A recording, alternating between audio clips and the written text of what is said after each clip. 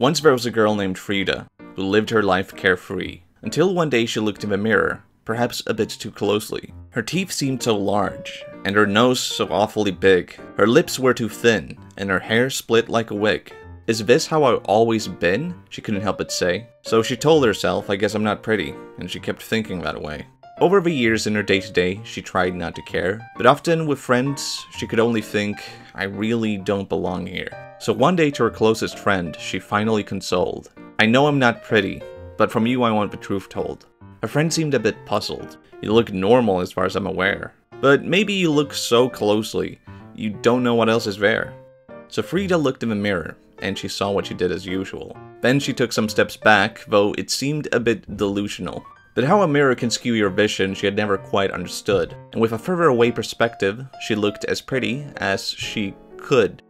An arm's length away, she could see herself clearly, simply given space. Because a stranger would never come up closely and just stare at you in the face. And though she still didn't like it, she thought she had a big ugly nose, she had other features she felt were pretty, and that she did not oppose.